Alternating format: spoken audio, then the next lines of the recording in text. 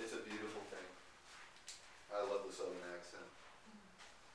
Are y'all going to the game?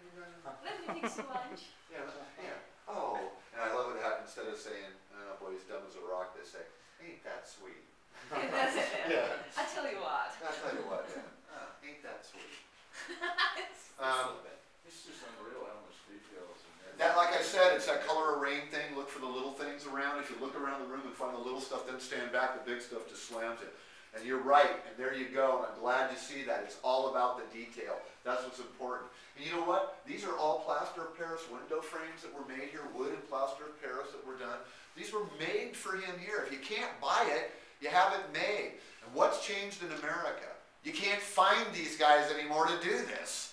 We have carpenters and tile setters and concrete guys. Master craftsmen very hard to find. You go to other countries, you see generational of Yes, craftsmanship. Um, I have a little tiny a lot I just bought in Panama. I used to own a home in Mexico, and when I had my house built in Mexico, the contractor showed up, and, it, and Grandpa got out of the truck. And two kids got out, and went over and set up a chair for him, a little table, and they had a styrofoam ice chest, and he sat there and told them what to do, and his son was probably my age, and had the kids with him, and the kids were mixing the stuff, and the dad was putting it together, and they were all learning that skills from each other. That was it. You knew that's what they were going to do for their entire life. When they were born, that's what they were going to do. We don't do that here. Now, I didn't do what my father did, or anything like that. I, um, I think those things in smaller countries tend to still have that going on. We don't. We're more of a consumer nation now instead of a producing nation.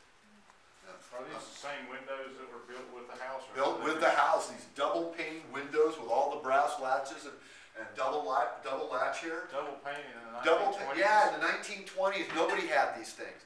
Nobody had these things, but William Randolph Hearst had them in his, in his house. He was not the techno freak, he was the techno super freak. He was brilliant. Yeah, brilliant. And he the hired a architect, brilliant architect. lady, yeah. Yeah, Julia Morgan, Julia right. Morgan. All right, we gotta go to the next guest house and see that, but again,